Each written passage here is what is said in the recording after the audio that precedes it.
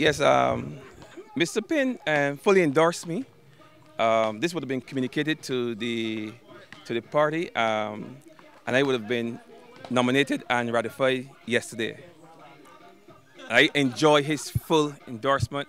Um, he promised that he would he would canvass with me, he will work with me, he will work for me, he would do all that he can to ensure that I regain this seat for St. Andrew, for the BLP.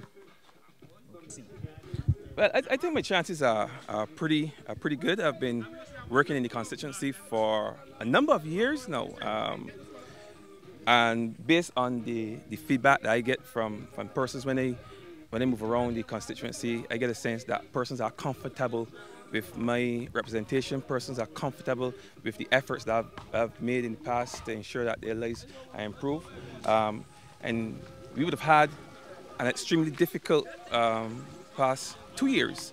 You know, during the early stages of COVID, when most persons were afraid, they did not understand the, the virus, and they were, were very afraid. I, I was there. I was out there, you know, working, ensuring that persons got, you know, the things that they needed. And I was on the ground. Um, then we, we had the, the, the, ash. I was also there um, amongst the people um, when we had to do deal, especially with the cleanup of the ash. You know, I would have um, provided some communities with, with resources as I go around what, depending on what people wanted. And in some cases, I would have arranged some of the cleanups. So we would have done that as well. Uh, then we were hit with the freak storm. Um, that mainly impacted the White Hill area. Um, a lot of the damage was concentrated in that a narrow strip of the area, a lot of down trees, down utility poles, um, persons' roofs were, were, were, blown off, and I was, was also involved in that in that process. I would have sourced some equipment through an organization that I'm a part of, the St. Andrew CDRT, um, which is association which is associated with the Barbados Red Cross, and lucky we, we would have gotten some equipment, some chainsaws and some cutlasses and such like just about two or three months um, before the, the, free, the free event.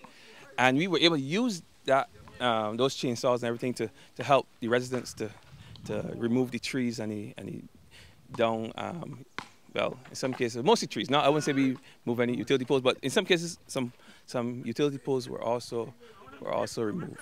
Uh, and then we were further impacted by the hurricane, by Hurricane Elsa. But the damage this time was concentrated mainly in the in Chalky Mount area. A number of homes were destroyed. Um, it was really bad, and you know that there were persons were without electricity for a long time um, in that in that area. But the, the, the, worst part of it was the number of houses that were that were damaged. A number of houses were damaged, um, and many of them are are being um, repaired. Um, persons are now at, at, advanced stage of um, getting their lives back together, um, getting the you know the houses repaired.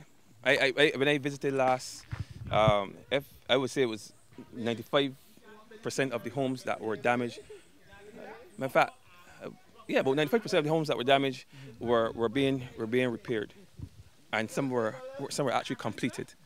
All right, um, and then after that we had the water outage, and that was especially difficult for for the residents here in St Andrew, but more so for the farming community in St Andrew, and I was actively actively involved in that as well. Um, one thing I discovered when I went around um, was that you know many of many many persons here Many residents here in, in, in St. Andrew are farmers. There's a large farming community, especially in this, this um, Bordens, Belleplaine area. And the animals would have, the animals would have um,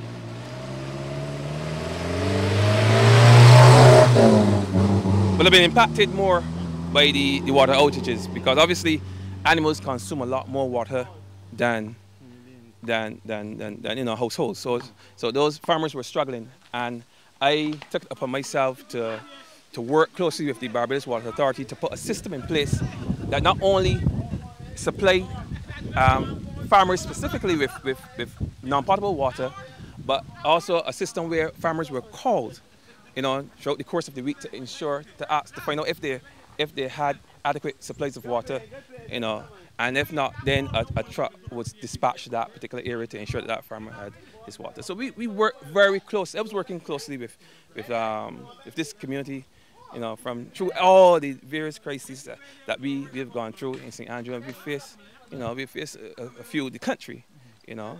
But I've been there all along. I would hope that, you know, the people of St. Andrew remember these things, you know, when, when they go to vote because I was with them all along.